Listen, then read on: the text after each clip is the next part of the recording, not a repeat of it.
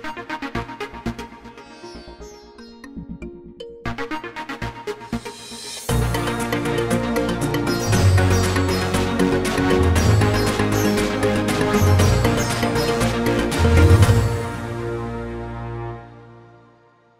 Bonsoir à tous, ravi de vous retrouver pour un nouveau numéro de Made in Africa, votre magazine économique 100% africain. Ce numéro sera consacré à une tendance qui s'affirme au fil des ans au point de devenir incontournable dans le monde des entreprises, les team building. En français, cela veut dire la construction d'équipes ou comment renforcer la cohésion d'un groupe professionnel au moyen d'activités collectives. Un véritable business s'organise autour de ce secteur. Les enjeux sont loin d'être anodins, il en va de la performance des entreprises. Au sommaire ce soir, enquête sur le business des team building en Côte d'Ivoire. Les acteurs de ce secteur ne manquent pas d'imagination, jeux d'aventure, virées récréatives ou encore ateliers de création. Tout semble permis quand il s'agit de souder les équipes. Souder pour mieux vivre ensemble l'aventure entrepreneuriale, mais aussi et surtout pour mieux performer. Si les team building prolifèrent pour booster la motivation, certains salariés font quant à eux le choix du changement de carrière. Notre deuxième reportage va vous plonger dans le monde de la reconversion professionnelle, changer de métier pour changer de vie, rebattre les cartes du quotidien établi, prendre des risques, à la clé de nombreux défis mais aussi de grandes satisfactions, la plus grande d'entre elles, être soi-même. C'est un concept né aux États-Unis dans les années 1980, le team building, un concept pour accroître la motivation et l'engagement des équipes au sein d'une entreprise. L'engagement, l'un des éléments clés qui fait la réussite d'un business ou son échec. Une étude de McKinsey le confirme. 97% des employés et des cadres estiment que le manque de cohésion au sein d'une équipe a un impact sur le résultat d'un projet. Pour être lancé vers un même objectif, les team building s'imposent de plus en plus en Côte d'Ivoire avec parfois, vous allez le voir, des activités étonnantes. Le phénomène du team building, un reportage de Bernard Samael Pomme, Ghislain Mendonça, Samuel Trazier et Omram Diabaté. Au sud-est de la Côte d'Ivoire, à Sini, cité balnéaire réputée non seulement pour son charme, mais aussi pour son attrait en matière de divertissement et d'évasion. C'est ici, dans ce complexe hôtelier, à l'ombre des cocotiers, qu'une séance de sport inhabituelle se tient. Les participants viennent des quatre coins du monde, mais tous sont employés d'une entreprise spécialisée dans les solutions digitales de paiement. Julaya. Ce fitness est la première activité d'une longue journée de team building. Entendez, construction d'équipe. Le but est de renforcer la cohésion entre employés au travers d'activités ludiques. Super, ça ira. Celui-ci est organisé par une agence basée à Abidjan. C'est Lucrèce Dosso, la chef de projet, qui se charge de l'animation de cette journée de team building. Euh, là, c'est le sport qui se termine avec beaucoup, beaucoup d'enthousiasme. On a vu que les équipes sont vraiment, étaient vraiment là-dedans et pour nous, c'est super. Quoi. Après cette séance, on aura des jeux et puis ensuite, euh, on aura euh, un échange, un échange pour avoir leurs impressions. Et l'après-midi, on aura bien sûr une balade, une balade lagunaire, puis une méditation qui est vraiment le clou de cette, euh, de cette journée. Sans plus tarder, les jeux débutent. Celui-là consistera à se repérer les yeux bandés. On prépare le jeu à l'aveugle. Euh, qui va aussi toujours dans le même, dans le même sens hein, de créer de la cohésion, de, de resserrer les liens entre, entre les employés.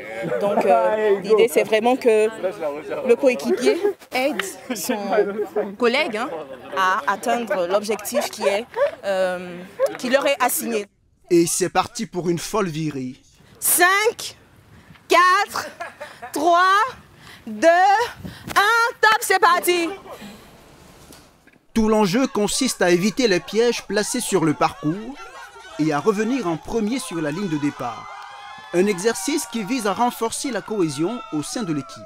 Très très très, belle expérience, c'est le meilleur endroit, le meilleur moment de pouvoir vivre ce genre d'échange, ce genre de partage. Ici, il n'y a pas de perdant. La victoire est avant tout collective.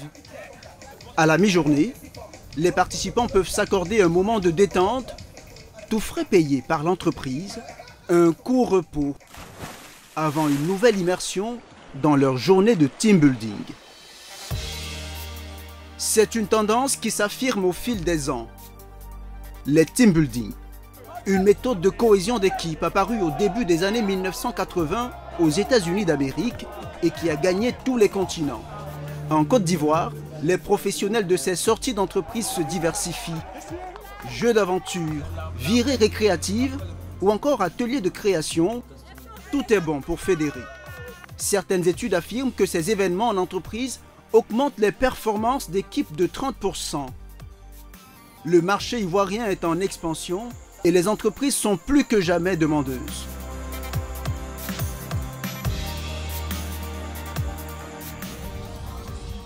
Cet après-midi, ces jeunes hommes terminent les installations. Alain Anzara est ici le chef d'orchestre de cette petite troupe de team builders. Il est 14h, moi 14h, nous on est bon. Hein? On a le temps d'anticiper certaines choses avant qu'ils n'arrivent. Alain est considéré comme le pape des team building et des sorties d'entreprise en Côte d'Ivoire. Chaque année, il en organise en moyenne une dizaine. Ce jour-là, il se prépare à animer les activités de 80 employés d'une banque de la place. Dans moins d'une heure va débuter le team building et l'organisateur espère en faire une réussite. Pour cela, tout commence par un aménagement stratégique de l'espace. On met quatre là-bas, on, repousse un peu encore et puis on met quatre autres là-bas parce que c'est un truc qui va vite.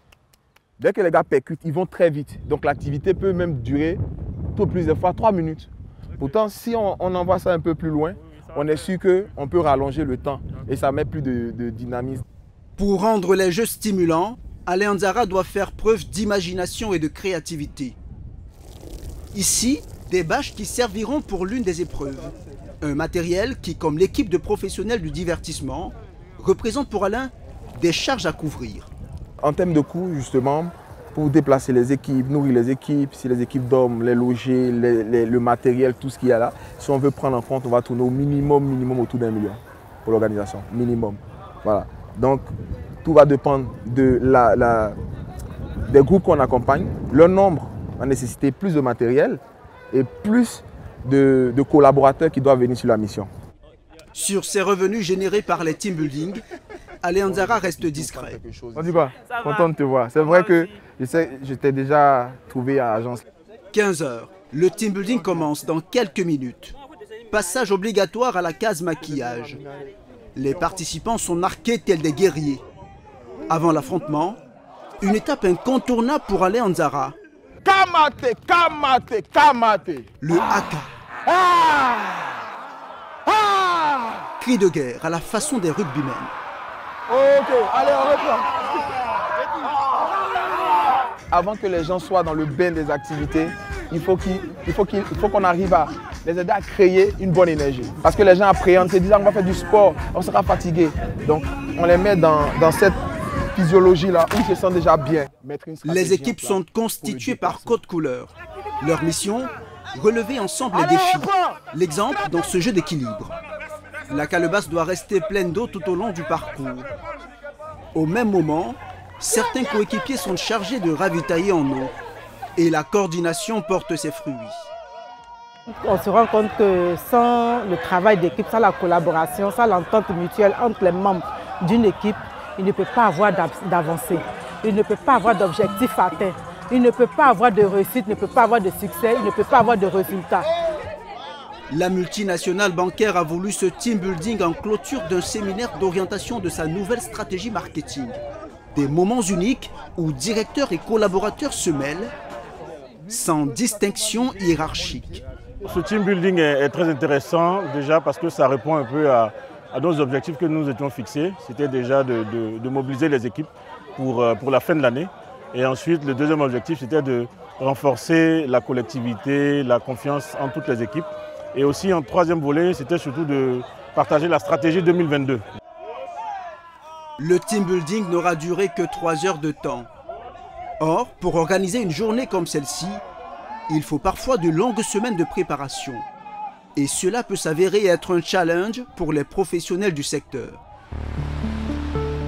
En Côte d'Ivoire, il n'existe qu'une poignée d'agences spécialisées en team building, car il faut dire que la tendance est encore nouvelle. Abidjan, Riviera 2. Nous retrouvons l'une des pionnières du secteur dans ses bureaux. Anne-Marie Dupac Nobou, spécialiste de l'événementiel depuis 2008. À peine arrivée ce matin-là dans son agence, elle se met tout de suite à la réflexion. Appelle Nguessan pour lui demander à Yopougon ce qu'il a. Parce que pour euh, ceux de la rentrée, il nous faut tous les chasubles complets. En compagnie de l'un de ses 31 collaborateurs, Anne-Marie tient à vérifier que les chasubles sont au complet. Bleu clair, gris, bleu foncé. Ces chasubles permettent de différencier les équipes sur le terrain. Ces team building peuvent parfois réunir jusqu'à 150 participants. Alors, pour l'organisatrice, la vigilance est de mise. Les gros team building, c'est beaucoup de pression. Euh, quand vous avez 150 personnes qui finalement ressemblent à un moment, vous savez qu'il y a un moment, ça va, c'est 150 enfants, c'est plus 150 adultes. Oui, c'est stressant parce qu'il faut avoir la bonne mécanique pour canaliser tout le monde, faire en sorte que tout le monde puisse participer, ne rien oublier. Donc oui, c'est un, peu, euh, un peu stressant pour, euh, dans ces cas-là. À ses débuts, il y a 14 ans, elle organisait un team building par an. Aujourd'hui, la demande est en hausse et Anne-Marie Nobou en fait 6 à 7 chaque année. Son savoir-faire, elle le facture désormais au nombre de participants et en fonction du client. Les prix peuvent aller de 15 000 à 35 000 francs CFA par personne. Pour 150 personnes par exemple, la facture peut aller de 2 à 5 millions. Autre facteur à prendre en compte, la durée du team building qui peut parfois s'étendre sur 3 jours. En location de site, on est hors budget. Sauf si nous on l'assume. Pour rester concurrentiel, Anne-Marie Nobou doit se réinventer. Pour cela, avant chaque team building, elle tient ses séances de brainstorming pour faire correspondre son offre à la demande du client. Le plus souvent, il s'agit des jeux d'aventure ou encore d'ateliers créa, comme sur ces photos. Mais il lui arrive de sortir des sentiers battus. Les jeux, en fait, sont, sont conçus en fonction du client, de ses objectifs, du nombre de personnes qu'il y a, de la durée euh, des jeux, enfin le temps qu'on nous donne pour faire un team building, on dit vous avez la journée, vous avez deux heures, euh, vous n'avez qu'une heure trente. En fonction de ça, déjà, on peut éliminer certains, certains jeux ou se concentrer sur un seul jeu. Avec un client, ils étaient, euh, ils étaient une trentaine, mais on est allé sur des jeux avec des drones, par exemple.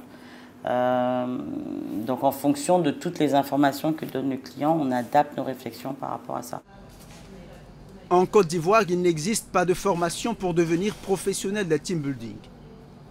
Anne-Marie Nobou s'est auto-instruite grâce à des livres comme celui-ci intitulé La Bible du team building et rédigé par un auteur français. Le team building n'est pas une solution toute faite qui viendrait par enchantement résoudre tous les problèmes. Le team building, ce n'est pas un fourre-tout où l'on peut faire n'importe quoi. L'objectif doit être défini et la démarche élaborée en conséquence. Les outils ne sont rien s'ils ne sont pas ordonnés vers une fin. Un manuel pour s'arrimer aux nouvelles pratiques du métier. Malheureusement, en Côte d'Ivoire, on n'a pas forcément euh, les formations. Donc on est obligé de se former un peu tout seul et on achète ce genre de documents et, on lit. Et on lit et on espère que dedans on trouvera euh, la réponse, la bonne méthodologie pour essayer de concevoir euh, des, des, activités, des activités de team building adaptées à nos réalités également à nous. Et parfois, certaines entreprises font le choix de se déconnecter du quotidien. Retour à Assini, où nous retrouvons les employés de Julaya, l'entreprise spécialisée dans les fintech. Cet après-midi, ils se sont donné rendez-vous sur ce quai pour une balade lagunaire à bord de ces pirogues à moteur. Faites attention. Hein. Pour l'organisatrice, le but est d'assurer un lâcher-prise à ses hôtes. Le but de cette sortie, c'est d'apprendre aux gens à, voir autre chose que ce qu'ils ont l'habitude de voir. En général, nous sommes euh, dans des salles, entre quatre murs et tout. Et être dans la nature, ça permet vraiment de réfléchir. Ça permet de déguiser son sens d'écoute aussi, son sens d'ouverture. Donc euh, voilà, c'est beaucoup plus dans ce sens-là. C'est vraiment d'amener les gens à lâcher prise. C'est parti pour une demi-heure de découverte le long d'une lagune qui se dévoile au fil des eaux. Ici, fini les haka et les efforts physiques. Place à la contemplation de la nature. Bon nombre des employés de l'entreprise n'ont jamais effectué cette virée. Sur leur chemin, des oiseaux marins se laissent observer au milieu d'une vaste mangrove. Direction les îles Eotile, les plus belles de la région. On attend les autres Ici, ces spécialistes du digital sont un peu des Robinson Crusoe, lancés dans une randonnée pédestre. Une excursion qui a séduit le patron. Nous avons plus de cinq nationalités au sein de l'équipe. Donc euh, pour nous, on a des équipes qui sont réparties dans différents pays, en France, en Côte d'Ivoire, au Sénégal, mais aussi, comme on dit, en télétravail, au Maroc, en Tunisie, en Italie. Donc euh, pouvoir se retrouver dans un moment euh, en physique est aussi très important, surtout après voilà, les deux années de pandémie qu'on a vécues. Et puis partager les valeurs, partager la vision, c'est tout le sens du team building. Dans cette forêt primaire, l'équipe est en communion avec la nature à l'état sauvage. Les participants ne vont d'ailleurs pas tarder à se connecter aux énergies ambiantes. Ressentez la lumière qui, qui monte depuis la plante de vos pieds. L'idée ici, c'est vraiment d'entrer en nous-mêmes et de chercher un sens à, à notre existence. Un moment unique, même pour des mordus de nouvelles technologies. La méditation, ce n'est pas quelque chose qui est très connu par les gens. Euh, c'est un mouvement souvent qui vient, on va dire, d'Asie, de, l'Est, etc., qui est un peu en vogue en Europe, etc., mais qui arrive de plus en plus euh, sur les autres continents. Et c'est vrai qu'on voit les gens sont un peu sceptiques au début, ils rigolent, etc. Et puis après, ils, ils repensent, ils disent Ah, c'est vrai que c'était intéressant. Et moi, je pense qu'il y a maintenant, aujourd'hui, voilà, ça, des entreprises qui font même des moments de méditation dans les, dans les entreprises, dans la Silicon Valley ou autre. Pas sûr que les méditations se poursuivent de retour au travail. Mais au terme de ce team building, tous espèrent que se lève une aube nouvelle et des lendemains fructueux pour leur entreprise.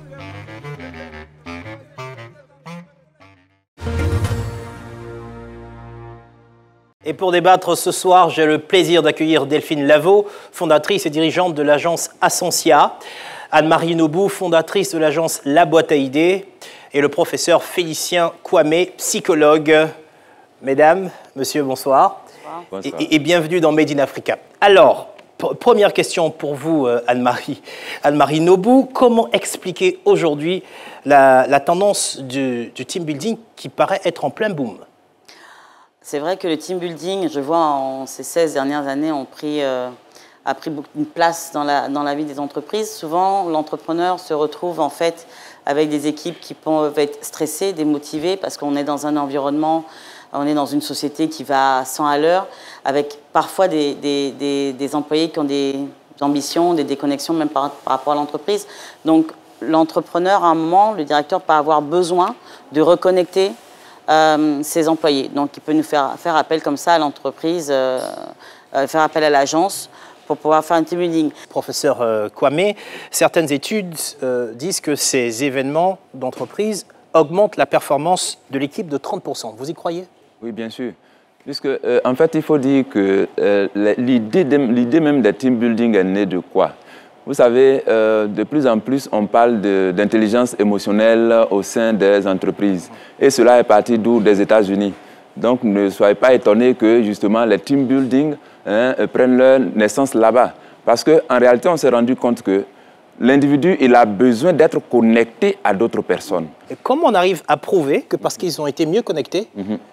ils ont été plus efficaces Un individu, face à tout ce qui se passe au sein de l'entreprise, il peut se situer dans deux situations, dans deux états. L'idée ici pour nous, c'est comment faire en sorte que l'individu il soit dans un état productif.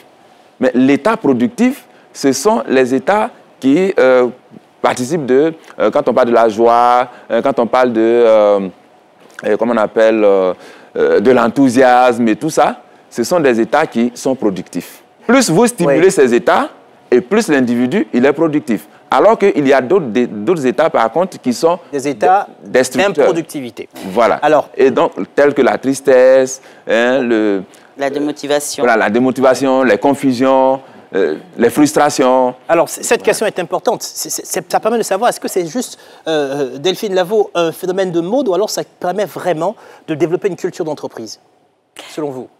Oui, bah justement, la culture d'entreprise, c'est vraiment un axe que chez nous, on, développe parce que dans l'entreprise, sans culture et sans sens, ben, pour moi, euh, voilà, c'est la, la, démotivation euh, arrive. Et donc, euh, il faut redonner du sens, il faut redonner une direction, il faut redonner euh, des missions, une vision.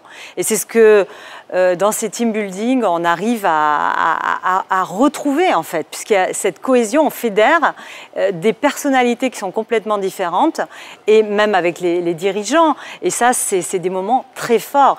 Et c'est arriver à faire vivre des expériences qui sont uniques.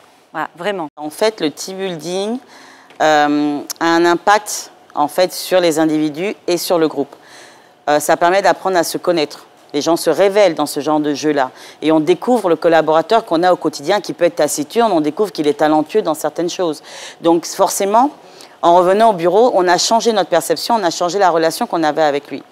Le team building, ça permet de développer aussi la créativité. On a tous un petit sens créatif, plus ou moins développé. Et dans certains jeux, en fait, on se retrouve créatif, on se retrouve imaginatif et on se révèle par rapport aux autres. On se remotive.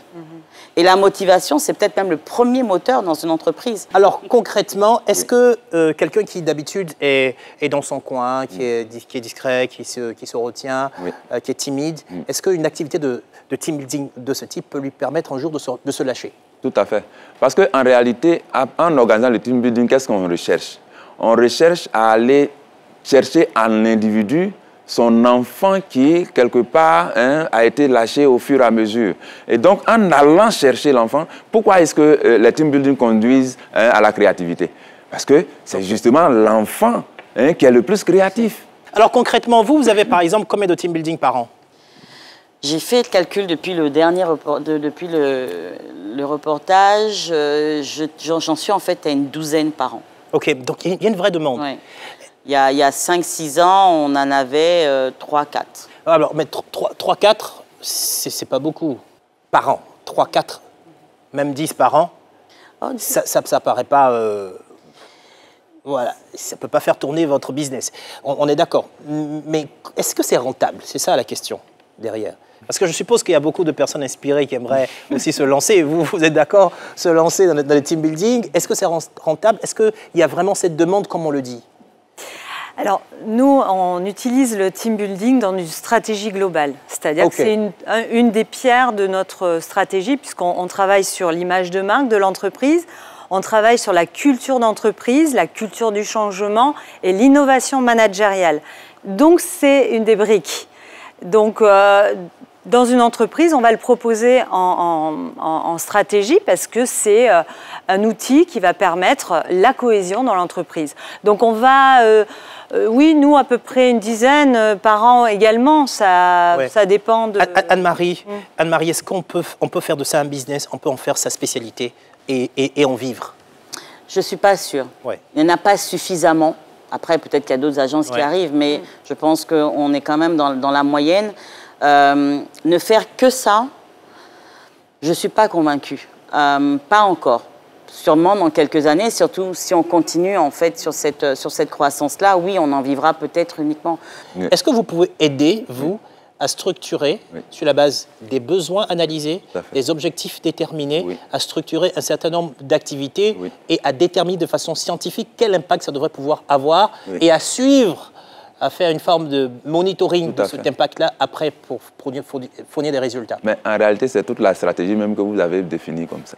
Le team building vise à faire quoi? À détecter des défaillances quelque part. Qu'est-ce qui fait que ça ne va pas? À partir du team building, normalement, on devait pouvoir déterminer ces éléments-là. Et donc, hein, le, le, le rapport et le, suivi, en fait, va consister à quoi? À une sorte de, euh, de réaménagement, une sorte de correction.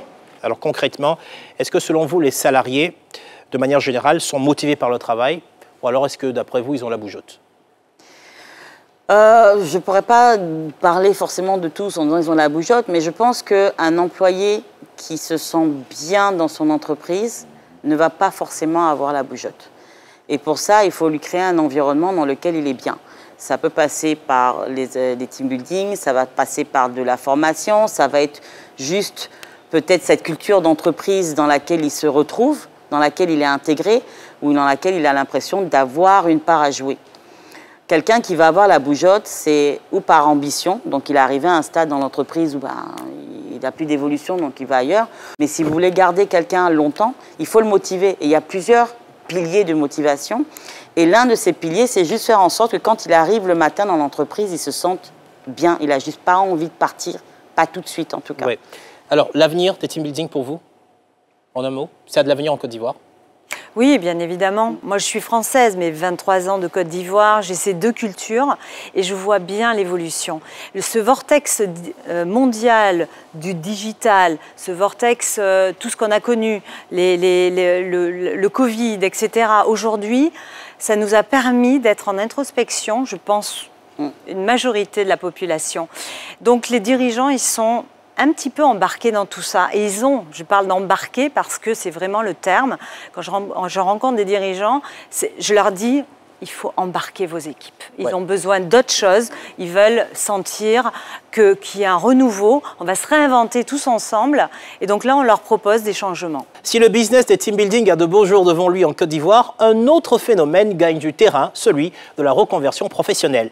De plus en plus de salariés décident de changer de métier troquer le costume du DG pour la blouse de docteur, laisser tomber sa vie d'ingénieur pour devenir chef cuisinier, ou encore mettre de côté sa vie de banquier pour devenir chocolatier. Les exemples sont nombreux. Pour trouver sa voie, des formations existent, mais aussi des coachs pour vous donner des clés. Changer de travail, changer de vie, reportage de Samuel Trazier et Niki Kwame. Grand Bassam, nous sommes au Vitib, le village de l'innovation technologique de Côte d'Ivoire. Cette femme d'affaires s'apprête à tenir une réunion avec ses équipes. Elle est à la tête de Sieria, une société de services informatiques spécialisée dans l'intégration de solutions technologiques. Et pour chaque client, on va avoir un portfolio un peu standardisé comme ça. Et ça nous permettra de savoir ce que chacun fait à quel moment et puis bon, comment... Pourtant, il y a encore un an, elle n'officiait pas dans les TIC, mais dans la santé. Un poste confortable de directrice régionale Afrique de l'Ouest dans une institution. Mais elle décide de tout plaquer pour se consacrer à sa passion, les nouvelles technologies. Ça a toujours été un domaine de passion et donc dans lequel j'avais eu quand même certaines bases. Donc j'avais fait des formations en C+, j'ai eu à faire des formations euh, pour l'utilisation de certains outils qui sont des, des, skills qui sont transférables un peu à ce que je fais aujourd'hui. Cette passion, conjuguée à l'envie d'avoir plus de temps libre pour sa famille, l'ont convaincu de changer de voie. Je peux voir mes enfants aller à l'école le matin. Ça, ça n'a pas de prix. Euh, après ça, euh, j'ai plus de temps aujourd'hui pour me consacrer à la tech, euh, voir un peu tout ce qu'on est en train de faire, tout ce qu'on a envie de faire sur l'innovation. Nos pays ont beaucoup de matière, on a beaucoup à apporter, donc ça nous permet aussi à travers Syria de penser, de, contribuer un peu à ce développement-là dans le pays, d'apporter de, nouvelles solutions qui sont un peu disruptives, comme on dit, qui changent le game. Comme elle, de plus en plus d'Ivoiriens décident de sauter le pas pour se reconvertir. La reconversion professionnelle, une pratique devenue au fil des années de plus en plus commune. Aujourd'hui, il n'est pas rare de cumuler plusieurs emplois dans des secteurs différents au cours d'une même carrière. 74% des salariés dans le monde ont déjà envisagé de changer de métier, soit près de 3 employés du secteur privé sur 4. Mais se reconvertir n'est pas toujours une messe à faire. Pour y parvenir, certains ont recours à des coachs, d'autres à des formations. En Côte d'Ivoire, un marché se développe pour aider ces personnes en quête d'une nouvelle voie à trouver leur chemin.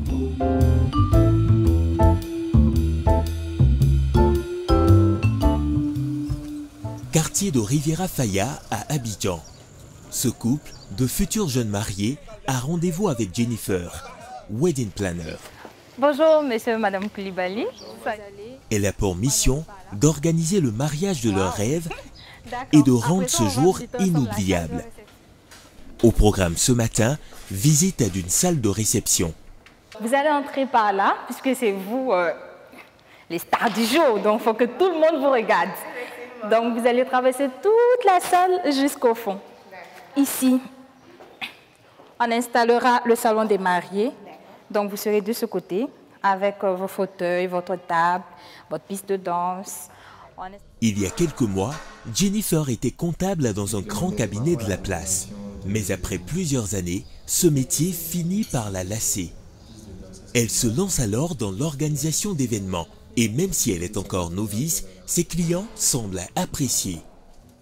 Ce qui m'a rassurée, c'est le fait de, l'avoir euh, contrôlé le mariage d'une amie et j'ai beaucoup apprécié. Nous sommes euh, très satisfaits de la manière dont Jen les préparatifs de notre mariage. On est déjà à quelques semaines et tout avance très bien. Nous sommes vraiment satisfaits. Salut les filles Devenir wedding planner, un revirement de carrière complet pour la jeune femme. Alors on fait quoi aujourd'hui? Pour apprendre à maîtriser les codes de ce nouveau métier, elle s'inscrit à une formation. Deux fois par semaine, elle suit des cours en ligne. Jennifer veut mettre toutes les chances de son côté pour devenir une référence dans sa nouvelle activité. Il existe différents types d'événements. Alors ce sera à vous de choisir dans quoi vous voulez vous concentrer et quel type d'événement que vous aimeriez réaliser. Avec ces formations, j'apprends énormément de choses que je ne savais pas avant. Par exemple, euh, la gestion de stress au niveau des mariés, je ne connaissais pas. Comment emmener un client à confirmer ou à concrétiser euh, sa demande? Alors, il est très important pour moi de me faire former pour maîtriser tous les contours liés à un organisateur d'événements. La jeune femme a déboursé 200 000 francs CFA. Au terme de ces trois mois de formation, elle obtiendra une certification qui lui permettra de se démarquer sur son nouveau marché. Si j'avais eu le choix beaucoup plus tôt, je pense que euh, jamais je n'aurais été assistante comptable. Je me serais lancée directement dans cette passion que je vis à fond aujourd'hui et sûrement ça m'éviterait beaucoup de temps perdu et je serais à une position beaucoup plus élevée, je pense. Suivre une formation constitue une première étape, mais il y en a d'autres. Merci, Madame Iglesias. À bientôt. Bonjour, coach Lydia. Il y a quatre mois, Jennifer sollicitait les services de Lydia Dogo. Depuis 13 ans, cette coach aide les personnes à se reconvertir et à aborder plus sereinement un changement de carrière. Je sais que tu avais un événement que tu organisais il y a à peu près deux semaines, Mhm. on s'était vu. Tu avais des objectifs bien précis. Mhm. Peux-tu me dire un peu plus comment est-ce que les choses se sont passées et quels ont été tes challenges? D'accord, très bien. L'événement lui-même s'est très bien passé. Et il faut dire que l'une des choses qui m'a vraiment aidée, ce sont les outils sur lesquels nous avons travaillé et plus principalement l'outil sur la priorisation des tâches. Alors cela nous a fait gagner énormément en temps et tout était très bien ordonné et disposé. Coach, un métier en vogue qui ne s'improvise pas et qui réclame de suivre un processus précis. Le bon processus, ce serait déjà de démasquer vos peurs. Qu'est-ce que vous avez comme peur qui vous empêche d'aller vers l'orientation que vous vous êtes fixée? Il faudrait aussi définir vos stratégies, bien sûr. Troisième point que je dirais, c'est de ne pas dévier. Parce que quand vous êtes entendu avec un coach où est-ce que vous êtes en train d'aller, il ne faudrait pas, au cours de la, des sessions, commencer à changer ou à ne pas avoir euh, le courage d'avancer. Donc, on va essayer de vous ramener sur le droit chemin. J'ai décidé de me faire coacher parce que là, j'embrasse une carrière inconnue. De comptable, je passe à wedding planner. C'est un monde qui est complètement inconnu pour moi, avec des challenges différents, des défis euh, sûrement beaucoup plus difficiles à affronter. Et là, j'ai besoin de conseils, d'orientation et euh, pourquoi pas de stratégie pour pouvoir réussir dans ce domaine. Dans le cadre d'une reconversion professionnelle, le coaching peut durer entre 6 mois et 1 an. Coach Dogo propose un package de 10 séances au prix de 450 000 francs CFA, soit 45 000 francs CFA la séance. C'est un investissement qui en vaut la peine et je m'y étais déjà préparée puisque c'est quelque chose que j'avais déjà budgétisé avant de me lancer dans cette reconversion professionnelle et euh, je ne regrette absolument rien parce que j'en bénéficie énormément. Dans son cheminement de reconversion, Jennifer a également choisi de confectionner et commercialiser des peignoirs. Bravo, Angélique. Pas n'importe lesquels. Celui-ci euh, a été conçu pour le concours Miss Côte d'Ivoire 2021. Miss Côte d'Ivoire. Donc euh, voici le peignoir. Merci beaucoup. C'est pour moi, je peux le garder ou c'est pour c'est un petit cadeau? Vous, vous pouvez le garder. Ah, vous pouvez le garder. merci Jennifer. Merci, merci beaucoup. En tout cas, c'est très gentil.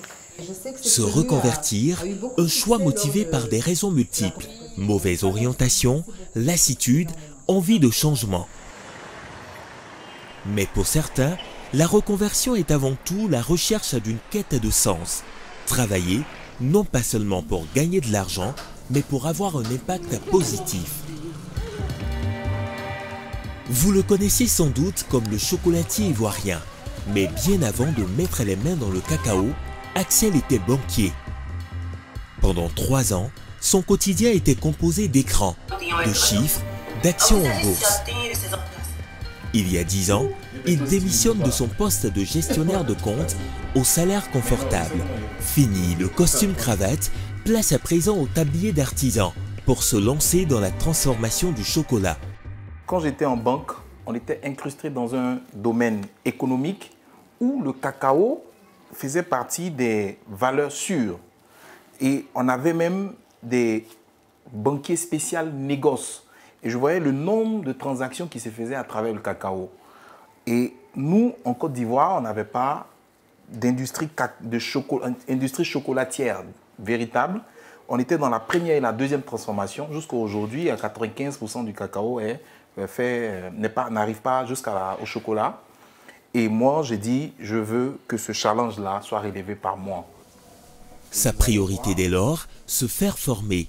Pendant six mois, il apprend le métier auprès d'un chef chocolatier ivoirien. Puis, viennent les récompenses remportées lors de concours d'entrepreneurs. Axel Emmanuel décide d'investir dans du matériel professionnel comme ses affineuses. Au total, près de 30 millions de francs CFA investis depuis ses débuts. Pour s'équiper, les machines sont importées, il faut les faire venir en, Côte d'Ivoire. Et le, le, compte, c'est que toutes ces machines aussi euh, ont des taxes énormes. Pourtant, euh, on, demande de transformer le cacao. Donc ici, vous aurez euh, des affineurs, vous aurez aussi des, petites machines de laboratoire pour pouvoir faire mes petits tests quand je commence à travailler, pour pouvoir faire des recettes. Vous avez aussi des, différents, broyeurs et tout. Donc, c'est des petites choses comme ça qu'on essaie de, avec lesquelles on essaie de bosser. Quoi. Ce qui motive Axel plus que tout, c'est d'aider les cacaoculteurs et leurs familles à mieux vivre de leur travail en les accompagnant. Moi, aujourd'hui, je leur donne l'opportunité de gagner de l'argent sur cette chaîne de valeur-là. Parce qu'il y a énormément d'argent qui se fait, mais eux, ils sont en marge. Et moi, j'ai décidé de les inclure. Pour comprendre, direction Toumaudi, à deux heures de route d'Abidjan. Ce jour-là, Axel Emmanuel est venu rencontrer ces femmes de planteurs. Habituellement, elles décortiquent les fèves de cacao au sein de leur coopérative. Bonjour. Bonjour, ça va bien? Un travail difficile. Aujourd'hui, Installée aux abords des écoles, elle régale les papilles des élèves. Axel Emmanuel a eu l'idée de créer cette activité génératrice de revenus, la vente de beignets au chocolat. C'est une zone mi-savane, mi-forêt, tout monde dit. Donc, à un certain moment de l'année, il n'y a pas le cacao toute l'année. Donc, à côté de ça, elles peuvent aussi faire une activité euh, toujours à base de cacao, le cacao qu'on a transformé de leur coopérative qu'elles ont décortiqué pour pouvoir avoir une activité. Donc il y a les gaufres au chocolat, il y a aussi les, les, les au chocolat et d'autres trucs qu'elles peuvent faire qui vont les permettre d'avoir l'argent et d'être autonomes. Ce chocolat, ce sont les femmes elles-mêmes qui l'ont transformé grâce à la formation reçue par Axel Emmanuel. Le chocolatier a aussi mis les moyens afin de les rendre plus autonomes en investissant dans ce matériel.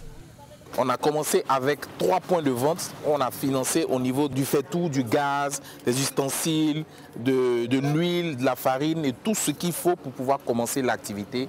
Et on va progresser en faisant 10 points de vente. Alors que ces femmes pouvaient rester plusieurs mois sans travailler lorsque la campagne de cacao était terminée, désormais, elles engrangent des revenus supplémentaires grâce à cette nouvelle activité. C'est une activité rentable, ça nous permet de gagner l'argent. On peut gagner 5 kilos, on peut taper 5 kilos par jour, 7 kilos par jour. Et avoir un peu, on peut avoir le bénéfice de 5 euh, 000 francs. De banquier à chocolatier, une trajectoire hors norme qui a permis à Axel Emmanuel de se réaliser tout en ayant un impact positif sur la société. Et je suis bien épanoui d'être un entrepreneur social qui prend soin de sa communauté et qui aide tout le monde à avancer. Son ambition, former toujours plus de femmes de cacao-culteurs et construire une usine de transformation de chocolat. Autant de défis qu'il n'aurait pas pu relever sans son changement de carrière. Une reconversion qui pourrait en inspirer d'autres. Aujourd'hui, on estime que 83% de personnes dans le monde ont déjà envisagé une reconversion. Reste à sauter le pas. Nous ont rejoint pour cette deuxième partie Lydia Dogo, coach en développement personnel, Jean-François Yoman, coach en développement personnel lui aussi. Bonsoir. Bonsoir. Et nous sommes toujours avec le professeur Kwame euh, qui est avec nous. Alors, on l'a vu, de plus en plus de salariés décident de changer de métier. Pourquoi, à votre avis, Lydia? Alors, à mon avis, je dirais que depuis la pandémie, on voit de plus en plus de personnes qui décident de changer de métier.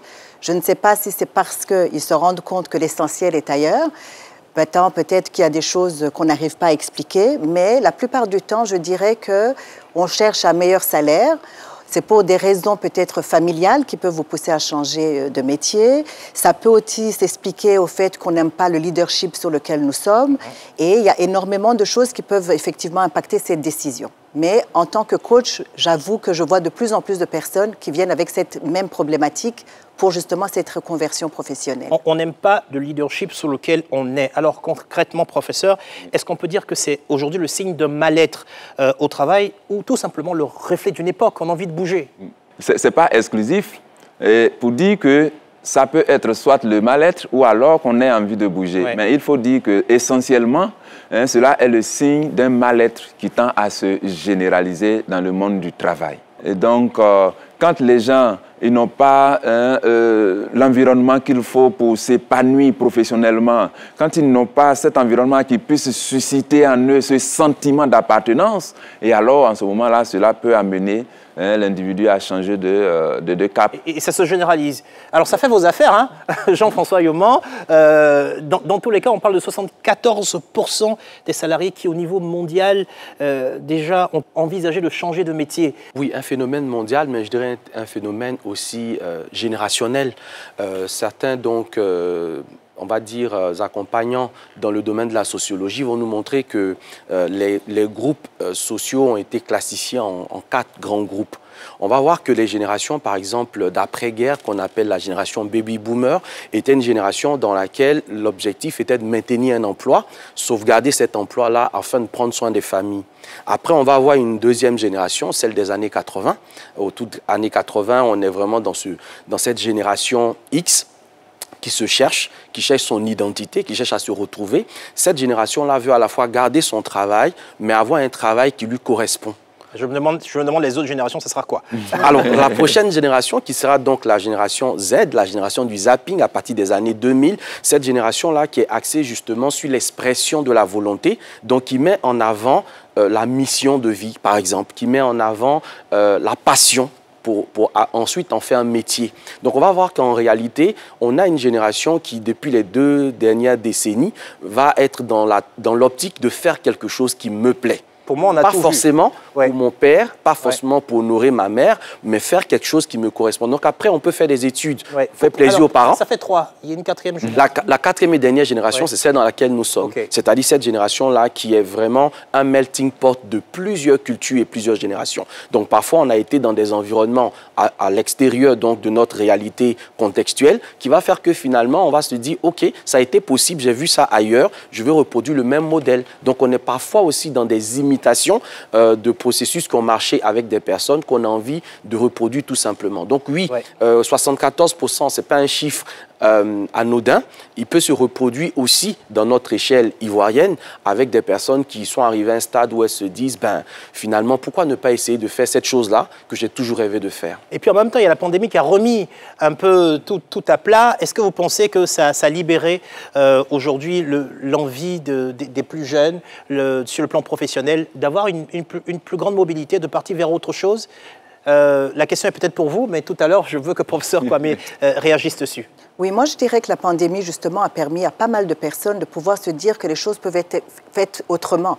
Parce que parfois, on n'a pas eu la possibilité de continuer dans le même travail parce que l'économie a changé, donc on s'est retrouvé à la porte. Donc on a dû créer un nouveau, un nouveau job. La deuxième chose que je dirais, c'est que la pandémie a permis aux gens de voir que la précarité de la vie est devenue tellement difficile et que si on ne fait pas les choses maintenant, quand est-ce Ouais. qu'on les ferait exactement Donc l'essentiel est devenu ailleurs. Du coup, professeur, on se re- recentre plus sur l'essentiel. Est-ce que l'individu se sent connecté au travail pour lequel hein, il, il- il se lève le matin et il revient le soir? Parce que tant qu'il n'y a pas cette connexion-là qui est faite entre l'individu et le travail, et alors en ce moment-là, lui, il va le vivre péniblement. Parce qu'en réalité, pour les types de personnalités que nous sommes, il y a hein, des, euh, des activités qui vont avec. Et donc, pour celui qui a trouvé l'activité qui va avec sa personnalité, vous allez voir que cet individu, c'est comme s'il ne travaille pas. Ouais. Parce que cela lui convient, ça lui correspond. Alors, ça, ça nous fait penser à Axel Emmanuel qu'on a vu euh, tout à l'heure dans, dans le reportage, le banquier, justement, qui devient chocolatier et qui va dans des villages pour former des personnes à utiliser également euh, ce chocolat, même pour vendre avec des, des beignets. Lui, il s'est reconnecté peut-être à quelque chose qui était plus proche de ce qu'il est. Oui. Euh, Oui, exactement. Quelque chose qui est plus proche de ce qu'il de ce qu'il est ou de ce qu'il a toujours ressenti. Parce qu'en réalité, il y a quatre grandes choses importantes qu'il faut toujours observer quand vous voyez une, pers- une personne faire une activité. La première chose, eh bien, c'est ce qui passionne la personne. Donc, vous pouvez être dans quelque chose qui vous passionne, mais dont les personnes autour de vous n'ont pas réellement besoin. Un, la passion. D'accord. Donc, un, la passion. Deuxième chose fondamentale, c'est le besoin auquel cette passion va répondre. On, on se souvient un tout petit peu, hein, quand on fouille les annales, de la pyramide de Maslow, qui est une pyramide qui va établir différents besoins, cinq en gros, et chacun de ces besoins-là, eh bien, répond à une attente en termes d'exigence d'emploi. De le besoin. De le besoin. Troisième chose essentielle, c'est qu'est-ce que je gagne? Comment c'est rémunéré? Comment je vis? Comment je monétise finalement cette chose que j'aime? Euh, et, que, et que les gens donc réclament Donc l'argent devient le nerf de la guerre, n'est-ce pas dit. l'argent Quatrième et dernière chose, est-ce que je suis doué pour réaliser cette tâche ou pour accomplir cette chose Je peux être passionné, mais pas doué. Je peux être passionné, mais pas doué. Je peux être doué, mais ce, dont, euh, enfin, ce que je suis en train de faire ne peut pas être rémunéré en tant que tel. C'est peut-être du gratuit. Euh, ça peut être à la fois aussi une chose dont les gens ont besoin, mais dans laquelle finalement je ne suis pas passionné. C'est Alors- la rencontre des quatre éléments qui va vous faire prendre le déclic et vous dire il faut que je parte de là. Pourquoi est-ce qu'il faut un accompagnement? Alors, moi, je pense qu'il faut un accompagnement parce que c'est crucial. Sans préparation, on n'arrivera pas à faire une reconversion comme il faut. Ça se prépare en amont. On a besoin de comprendre le pourquoi de la personne, pourquoi est-ce qu'elle veut absolument changer de métier, pourquoi est-ce qu'elle veut avoir un nouveau travail. Deuxième question, est-ce qu'elle a les compétences adéquates qui vont lui permettre de pouvoir aller vers le chemin sur lequel il est en train de pouvoir y aller? Est-ce que les moyens, il s'est préparé en amont pour pouvoir savoir si les finances vont lui permettre de Ouais, tenir? De tenir. Pendant un certain temps, effectivement. Est-ce que ce n'est pas un caprice, ce n'est pas un- quelque chose qu'on vient de faire sur un coup de tête? Est-ce qu'on a vraiment réfléchi pour pouvoir sauter? Parce qu'on ne veut pas sauter dans le vide. Il y a beaucoup de gens, malheureusement, qui l'ont fait et qui l'ont regretté. Donc, il y a des cas de reconversion qui ne marchent pas. Absolument. Absolument. Il y en a. Et j'ai d'ailleurs un exemple. Oui, les cas de reconversion ne marcheront pas si on n'a pas effectivement, comme dit Lydia, analysé euh, trois facteurs importants en tout cas. Le premier, par exemple, c'est les blackouts. hein. On peut être dans un système d'entreprise, on est carrément dans un blackout. C'est quoi? On, on les appelle les maladies professionnelles.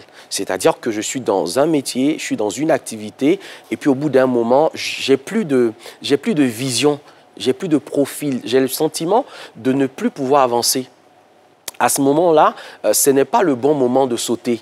J'ai juste, je suis en train de faire le constat que j'ai pas de visibilité. La visibilité n'est pas le seul élément qu'il faut analyser. On a également le burn-out, c'est l'épuisement professionnel.